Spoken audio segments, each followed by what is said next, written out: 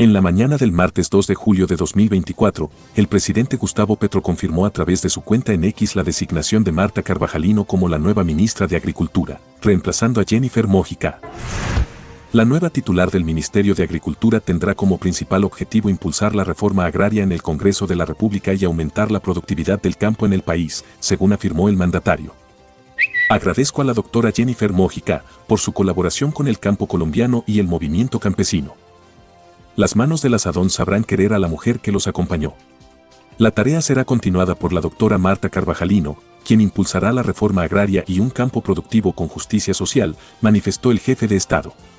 Marta Viviana Carvajalino es abogada, especialista en Derecho Constitucional y cuenta con una maestría en Derecho con énfasis en investigación por la Universidad Nacional de Colombia. La nueva ministra posee experiencia en Derecho Agrario y Ambiental, conflictos territoriales y ordenamiento rural. En su trayectoria, Carvajalino acumula más de 17 años de experiencia como consultora en temas agrarios y ambientales para entidades públicas y agencias de cooperación internacional. Desde 2016, Carvajalino se desempeñó como Procuradora Judicial para Asuntos Ambientales y Agrarios en la Procuraduría General de la Nación.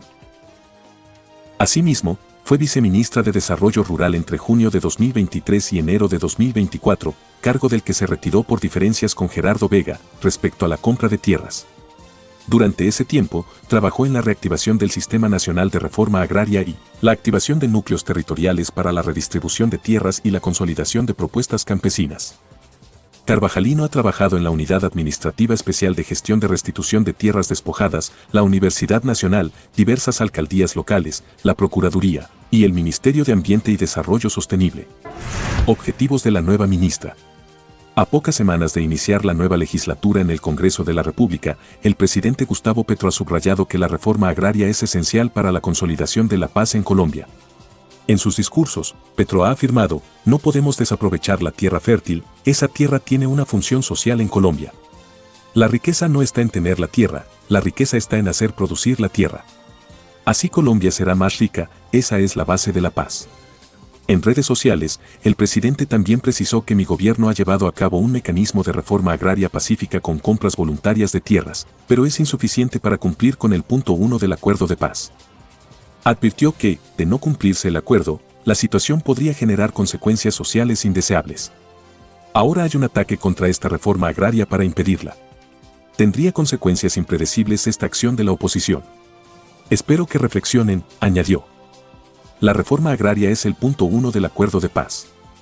Es una declaración unilateral del Estado ante el Consejo de Seguridad de las Naciones Unidas y es un punto esencial del programa de gobierno y el plan de desarrollo. En este contexto, Marta Carvajalino enfrentará el reto de continuar con la compra de tierras, especialmente a ganaderos, con el objetivo de hacerlas más productivas en cuanto a la generación de alimentos.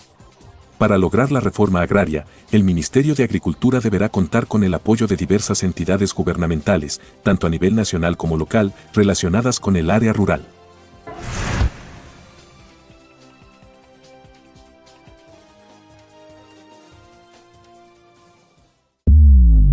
Hola, ¿te gustaría invitarnos a tomar un café?